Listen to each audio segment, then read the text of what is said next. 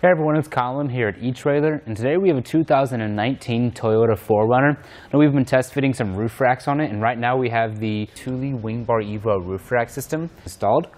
Now this is a roof rack that's going to mount to the raised side rails of your 4Runner, and this is going to give you an option to get your favorite rooftop accessories loaded up, whether you got a kayak carrier, cargo box, maybe even a cargo basket. Now up top we have our 53 inch long Wingbar Evo crossbars. These are in black, but they're also available in silver. So if you think that'll match your 4Runner better, just go ahead and check out the website. These are going to have a nice aerodynamic shape. It's going to help cut down on wind noise and drag, especially if you compare it to a standard square or round bar roof rack system. And we also have this nice rubber strip up top that's also cutting down on that wind noise and drag, but it's also a T-slot. And how we access that is flip open the cap right there. And all we have to do is slide our T-slot accessory between the two strips to the desired location on our roof rack, tighten it down and we're good to go. There's no need to pull the rubber strip out anymore and cut it to length. You just slide it in and you're good to go. Now right here we have our Rapid Crossroads foot pack. These are going to connect your crossbars up top with your raised side rails. These are really easy to install. It's a lot easier to get this installed on this roof than a naked roof where you have a pad and clamp system that goes in your door jamb. This is going to be very easy to assemble and get installed. One of my favorite things about the crossbars or about the end caps, I should say, is that the tools are actually included on the end cap. So we'll just pull off this end cap like so. It is a little bit tough at first. We pull that off.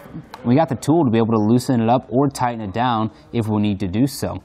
The bolt is right here. Once we tighten that up, our rubber coated steel strap that comes underneath our raised side rail gets pulled down. You can see we got a really nice secure fit right there. And the rubber coating on that steel strap is going to help protect your raised side rail and your vehicle from any type of scratches or abrasions. Put the end cap back on. And if we come over to the other side of the foot pack, you'll see we have these nice rubber layers underneath. So really all the way around where the Crossroads foot pack is making contact with your raised side rail, there's rubber all around it, so you don't have to worry about it harming or scratching your raised side rail. Now I want to go over a few measurements for you guys. First, from the top of our roof to the bottom of our crossbar, it's going to be three and a half inches. That should be more than enough space to get your clamp-on accessories underneath of your crossbar without risking damaging your rooftop. Now this measurement is going to be a little different. We're going to go from the top of our side rail to the top of our crossbar. That's two and a half inches. That's something to keep in mind for any low clearance situations, like maybe parking in your garage, that you have this added height to your raised side rail. Now that we've gone over some of those features, let's show you guys how easy it is to get this installed. Now, like I said, assembly is very easy on this roof rack system. We don't have to deal with those pad and clamps like you would for a naked roof. So we'll just flip our crossbar over. We do need to take the end cap off. Just push down on that tab. End cap comes right off. And then what we'll do is take our foot pack right here and the slot up top is going to slide into the channel on the bottom of our wing bar. You want to make sure that this open side is facing out away from the crossbar. Now, at first it may be difficult to get in there, but what you can do to kind of loosen it up is push down right here where the strap comes out.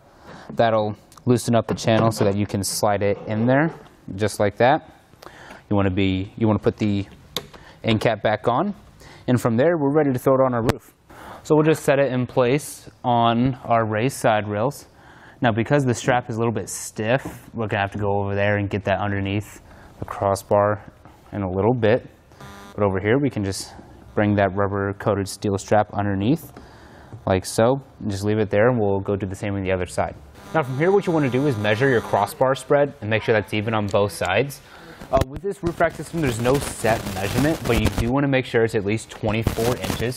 So what we'll do is measure from the front of our back crossbar to the front of our front crossbar Again, as long as it's over 24 inches, you're good to go.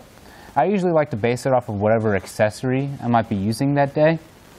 If it's a bigger accessory, then you're probably going to want a bigger crossbar spread. And before you start tightening down, you do need to make sure that the arrow on the bottom of the foot right here is over the center of your raised side rail.